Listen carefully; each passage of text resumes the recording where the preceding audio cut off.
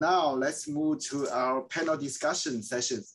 So for all our three speakers, uh, Alex, Mark, and Melissa, yeah, if anyone have other questions related to their project, their method, yeah, it's the time to ask. Yeah, you still can raise your hand or put in the chat.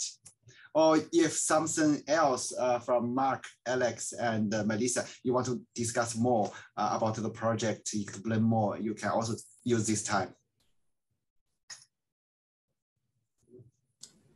We are happy to talk about um, Beth's talk if anyone had any more questions about what she was going to talk about.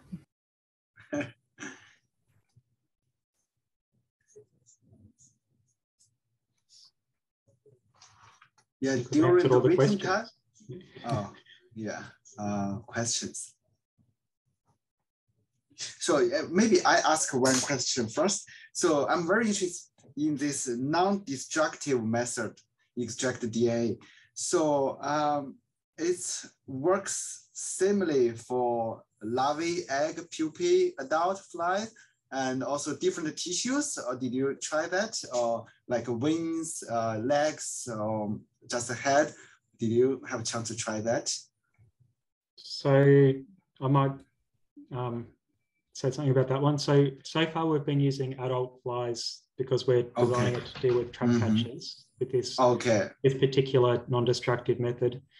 We've tried the other method, which is the using the the kits with the extraction buffer and the proteinase K. We've tried that on lots of different things. So we've tried that on larvae, um, mm. flies, beetles, whole different taxa, and that that works pretty well universally across the board. Um, okay. But as Alex was saying earlier, there's there's some differences in efficiency and how well that works depending on how hard an insect is compared to how soft it is, and other mm. things like that. So the the non-destructive method is great. We've been focusing on that because you can go back and say, was that mm. really present in the sample? So you've got morphology to back things up, which you can always go back to those um, mm. specimens but we we're trying to sort of not have a method where we have to pull legs off or do processing because that also adds a lot of time. The main mm. the main benefit of this whole approach is to save that time the processing time. Okay. So basically your non-destructive method you designed and used on the adult flies not on the other stage. It, it would probably work on the other stages. We've used it in other projects for example, okay. on um, Khapra beetle, we've used it on um, adults and larvae, and it works fine on hmm. both life stages. Okay. There's no reason. It was actually designed. Hotshot from memory was designed for mollusks, so it's used on a lot of different um, organisms. Okay. Thanks, Mark. Yeah. Any other question?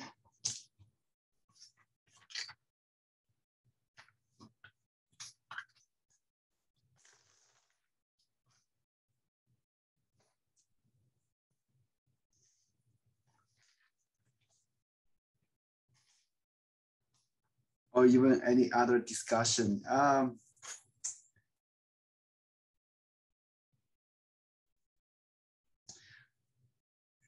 oh, yeah, good. We got one more question from Elizabeth Fang for Melissa. Can you please explain a bit more about the eDNA swab on hot shot buffer?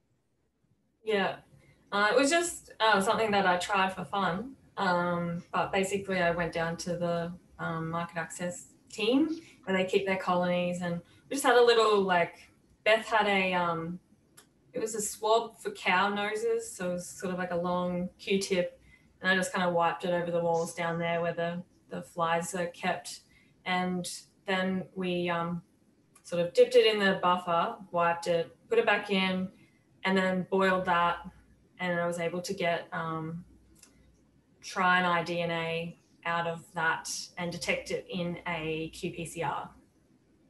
That was t- a, a tRNA qPCR. Yeah. Yeah, thank you, Melissa. And any other question?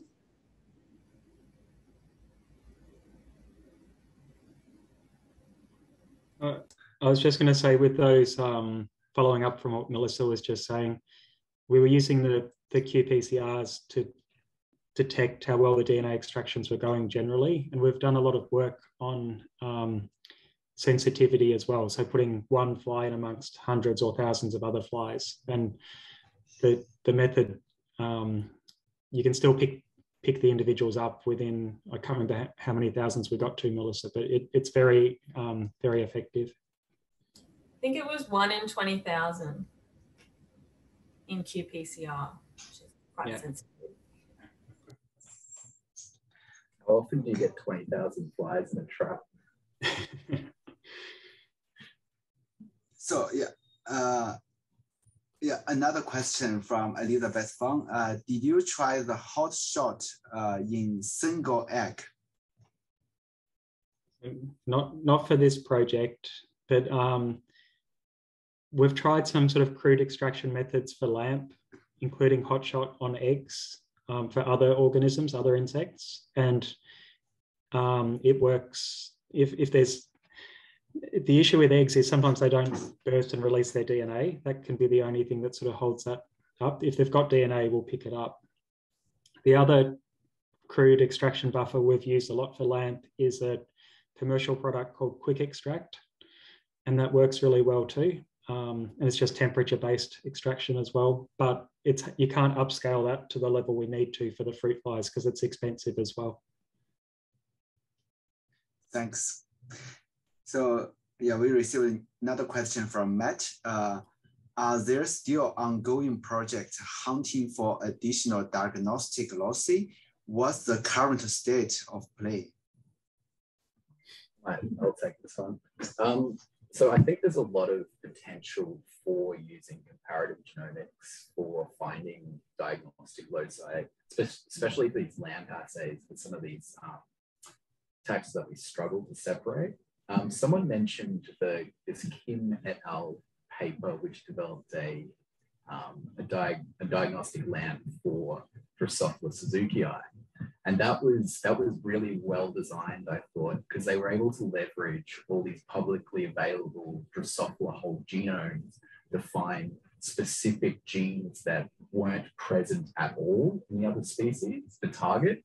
Um, and that way, that's it's a, I think it's a, a lot neater assay um, than just trying to like um, target a gene that's conserved but has some variation. So I'm hoping um, like more and more different um, whole genome sequences are becoming available. So I think there is a lot of potential to go kind of beyond um, what has been done with uh, with transcriptome comparisons and um, mm. uh, like that anchored hybrid enrichment stuff. I think um, hopefully, I don't know if there is any actual project um, ongoing, but I think there is potential um, to do to find more novel diagnostic loci. Thanks, Alex. Uh, so yeah, it reminded me another question for either LAMP method or meta barcoding method. So this, uh, this method can help you find the populations. Yeah, just like uh, that is Suzuki, but this Suzuki come from Europe or from other countries. Do, do, do, uh, do you have any experiment or experience on that part? Um, well, with the meta barcoding, which is kind of my my role in this stuff, um, we target quite short gene regions um, and normally CO1. So there's limited genetic variation. I have seen I have seen some papers that have used um, meta barcoding methods for like detecting haplotypes and then using those in population genetic analyses. Um, we haven't really looked into it yet. I don't think it'd be possible for tephritids. Um, it may be possible for something like Drosophila suzukii. Um, I yeah, it's it's a, it's an interesting question. I think um, what what might be quite interesting, especially is um, as longer read technologies come into into play. Um, if you can target a longer gene region in metabarcoding, you might be able to capture some more of this population informative information.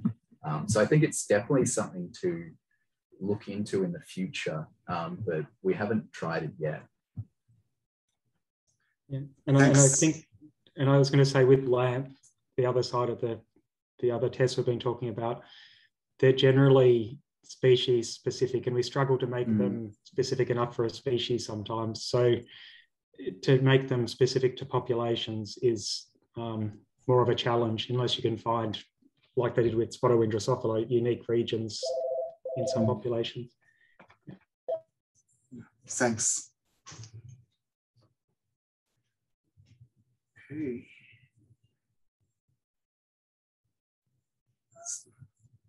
So any other question? Oh, good. Uh, yeah, we receive a new question from Yan Norman. Uh, the question is, if metabarcoding detects a variety of no target taxa from a particular site, where are these detections recorded?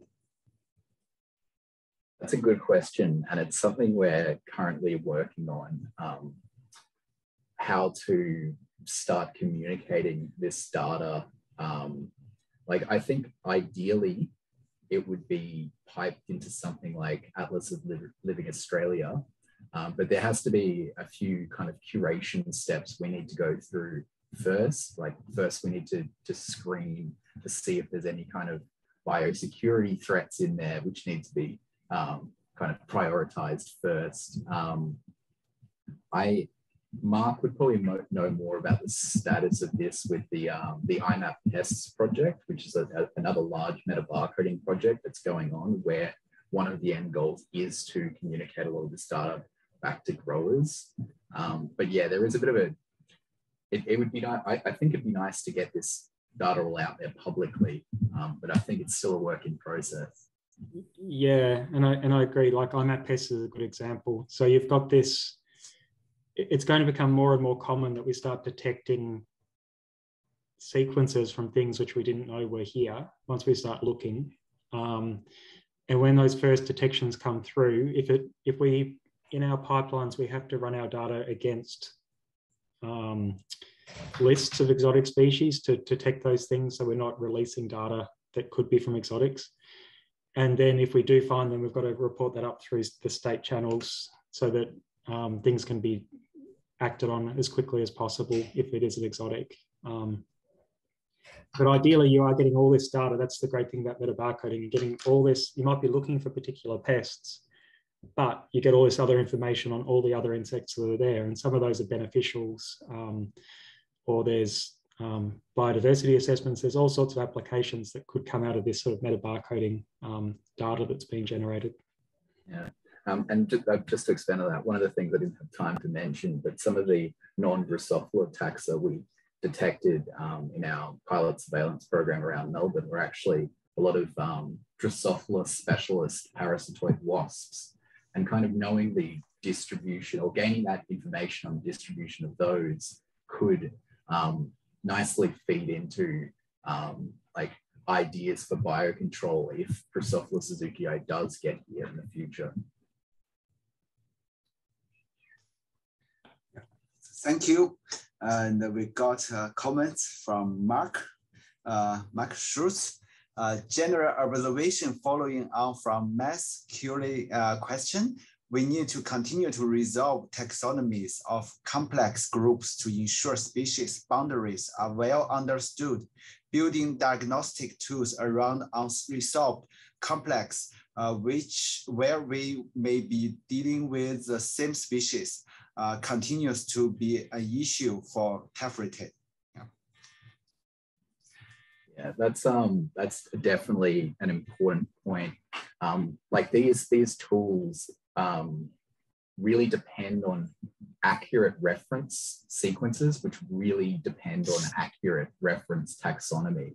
So yeah, Mark's completely right. Um, these these tools, like if, if you do have, uh, if the taxonomy is wrong, ultimately your diagnostic assay is kind of going to be wrong in a way in the end. So we need to keep paying people like Mark Schutze to resolve these lovely issues.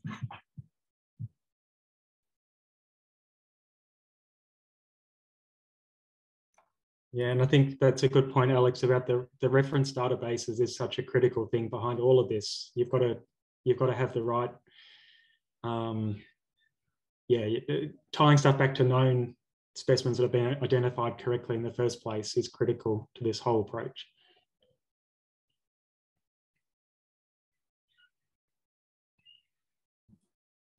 Yes, and people like Melissa.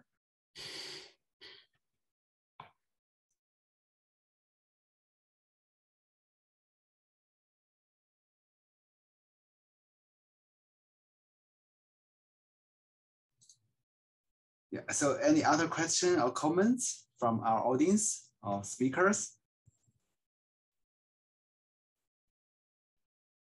Okay, if no more questions, uh, let's thank all the speakers again for their wonderful talk.